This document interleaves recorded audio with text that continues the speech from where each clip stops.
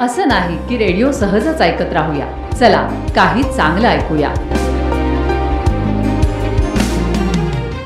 मुले म्हणजे देवाघरची फुले असं म्हणतात. नमस्कार. Ninety point four green F एमवर मी आहे प्रतिमा. चला काही चांगलं ऐकूयात. एक होता राजा. तो रस्त्याने जात असताना वाटेत जर मुले भेटली तर त्यांना तो नमस्कार करायचा. लोकांना आश्चर्य वाटायचं. राजाला काही वेड लागलंय का? गोष्ट प्रधानाच्या कानावर गेली. त्याच्या मनात आले राजाला आपण सांगावं. एके दिवशी तो मुद्दाम राजाला भेटायला गेला. राजाने विचारले आज इतक्या लवकर काय काम काढलंस? प्रधान म्हणाला महाराज तुम्हाला काहीतरी विचारायचंय. तुम्ही वेडे झाला आहात असे सारे लोक म्हणतायत. राजा म्हणाला का बरे? मी कुणाच्या घराला आग लावली आहे का? कुणाचं नुकसान करतोय का? दुसरे देश तर लुटत नाहीये. प्रजेवर वाटेल तसे कर लादत नाहीये. मग का मला वेडा म्हणतायत? प्रधान म्हणाला महाराज आपण दयाळू आहात न्यायी आहात सगळं खरं. आपल्या कारकिर्दीत खेडोपाडी रस्ते झाले विहिरी झाल्या पाठ झाले सारे काही झाले. पण महाराज तुम्ही रस्त्यातून जाताना शेंबड्या लहान पोरांना वाकून नमस्कार करता. पण वृद्धांना कधी करत नाही. नमस्कार करायचं झालं तर त्या म्हाताऱ्या मंडळींना करा ना. लहान मुलांना का कुणी नमस्कार करतं? राजाने हसून विचारले म्हणून का मी वेडा? प्रधान म्हणाला लोक असे म्हणतात राजा पोराबाळांना नमस्कार करतोय त्याला वेड लागले राजा म्हणाला मी वेडा नाही लोकांनाच कळत नाही. जे लोक म्हातारे झालेत त्यांचा पराक्रम काळ चुकला?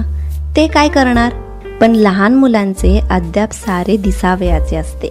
लहान मुले पाहिली की माझ्या मनात येतं यांच्यातून उद्या कोणीतरी नक्की मोठा माणूस निर्माण होईल.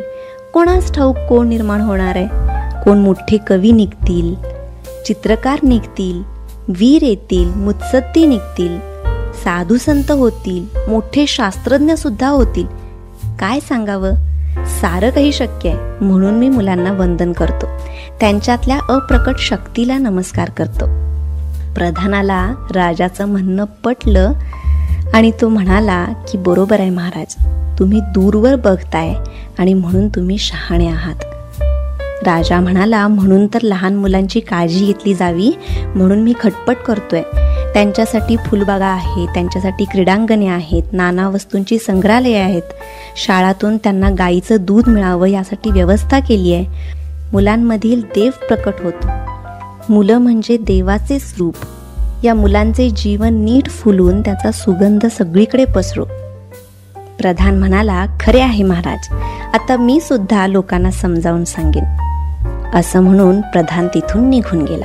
मित्रांनो खरं तर राजाची दृष्टी दूरवर जाणारी होती आणि म्हणूनच त्या मुलांमधून निर्माण होणाऱ्या त्या अद्भुत कलेला पराक्रमाला उद्याच्या भवितव्याला तो प्रणाम करत होता. आणि खरं आहे बरं का ही मुलं असतात ना त्यांच्याकडं खूप मोठी ताकद असते. सगळं काही मिळवण्याची इच्छाशक्ती त्यांची असते.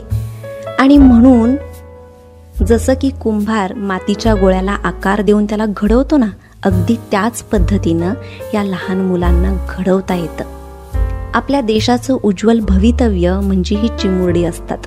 आणि म्हणून आपल्या मुलांचा सर्वांगीण विकास होण्याकडं तुम्ही सुद्धा लक्ष द्या. त्यांच्यातल्या कलागुणांना वाव द्या आणि जगायचं तर असं जगा की लोकांनी तुमच्याकडे बघून जगायला शिकलं पाहिजे. आणि लक्षात घ्या जर तुम्ही काही चांगलं ऐकत आहात तर निश्चितच ग्रीन एफ एम ऐकत आहात. पुन्हा भेटूयात एका नव्या गोष्टीसह. तोपर्यंत नमस्कार.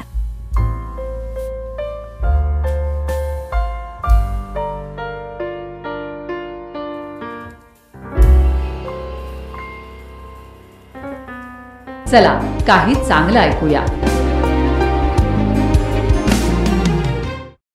तर मी आरचे प्रतिमा तुम्हा सर्व लिस्नर्सना विनंती करते की तुम्ही यूट्यूब चॅनलवर जा आणि green F M ninety point four Sangli search करा आणि सबस्क्राईब करा. आणि लक्षात घ्या आपल्या ग्रीन एफ एमचा लोगो हा दोन पानांचा आहे. तर मग पटकन सबस्क्राईब करा आणि ऐका माल कार्यक्रम.